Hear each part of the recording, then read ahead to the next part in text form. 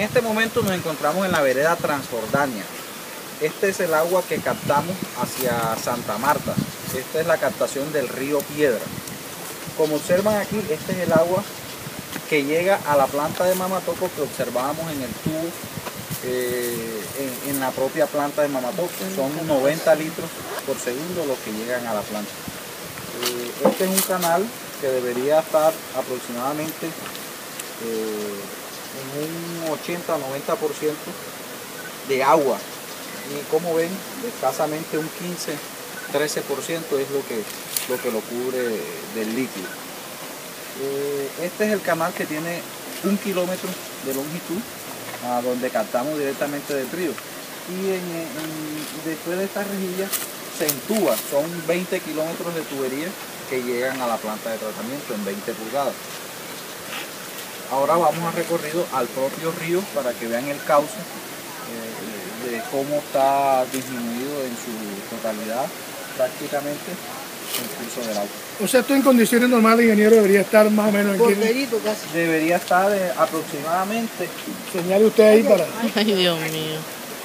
aquí. haciendo un O sea, 80%. ese sería el borde. Hay muestras aún, incluso hay veces, pues bueno, cuando, cuando se nos tapan las, las, las- las rejillas, que hay que hacer el mantenimiento, nosotros tenemos operadores acá, eh, esto alcanza a, a rebosar, pero ¿por qué no rebosa?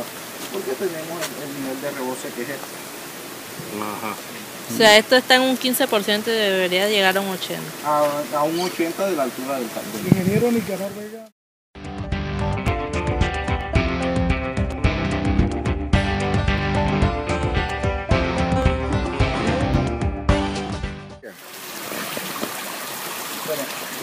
Esta es la microcentral, la captación de la microcentral de piedra. Esta es una generadora de energía que tienen los cafeteros acá en la, vereda transurbana para suministrar energía a, a la- a las fincas cafeteras de este sector. Eh, ¿Qué hizo Metroagua para garantizar más agua eh, en, la ciudad de Santa Marta y para sostener estos 90 litros que tenemos hoy en día en, en Santa Marta a través del río Piedra? Eh, con Electricaribe traímos energía de Electricaribe y conectamos la microcentral de ellos con, con- con energía de la, de la empresa Electricaribe.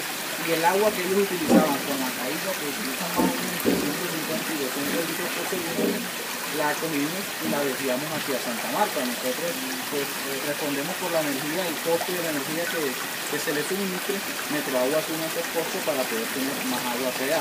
Pero con los niveles que hemos alcanzado en este, en este 2016, que son los más bajos históricamente de este río, eh, esta es la poca agua que, que podemos desviar hacia, hacia Santa. Eh, ingeniero, pero con este flujo de agua, eso no mueve la, la planta generadora ya de energía. ¿O sí? los 90 litros, ellos necesitan más o menos entre 150 y 200 litros. Con esto Con esto no. O sea que ellos tuvieran problemas en estos momentos. tuvieran problemas en este momento. Claro. Sin embargo, sí, pues, Se- seguimos respondiendo porque dentro del convenio porque como nosotros nos hacemos responsables. De- desde el 2014, eh, alcanzamos en el 2015, alcanzamos a pagarla unos días, unos días alcanzamos a meter agua, pero le estoy hablando de dos, tres días. Eh, el caudal no fue suficiente, el no se recuperó un 100% para poder abastecer la microcentral y a Santa Marta.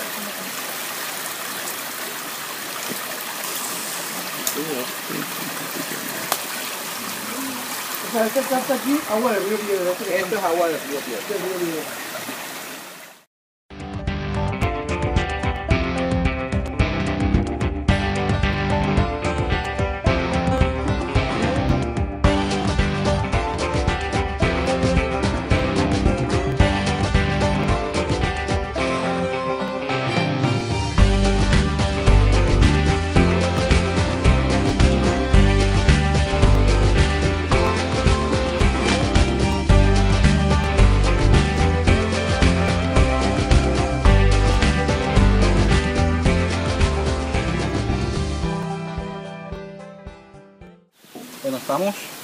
En el canal de, de, de aducción de la captación hacia la tubería de- que abastece la ciudad de Mamatoco de piedra.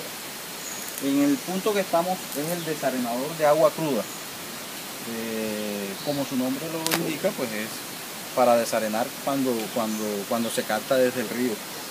En estos momentos el caudal es tan bajo que preferimos meter el agua derecho por el canal y no desarenarla porque las velocidades son tan bajas que no alcanza pues a tener turbiedad ni alcanza a, a- tener arenas dentro del río. Bueno, eh, cuando comiencen las lluvias pues iniciaremos nuevamente, activaremos nuevamente el desarenador para que haga su función que es de desarenar el agua que venga turbia del río.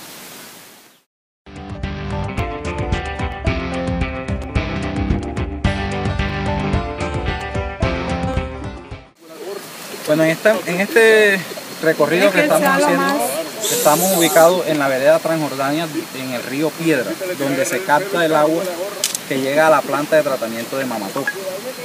Eh, en este punto es la represa donde se desvía el agua por el canal de aducción, luego a la tubería y esta a su vez llega a la planta de tratamiento. En este momento, en la última medición, eh, en el río como tal, en el cauce, hay 120 litros por segundo. De esos 120 litros por segundo nos llegan 90 litros a la planta de tratamiento. Este es el río que abastece prácticamente en épocas normales el 80% de, de- del agua que le suministramos a los amarios en la planta de Mamatoco.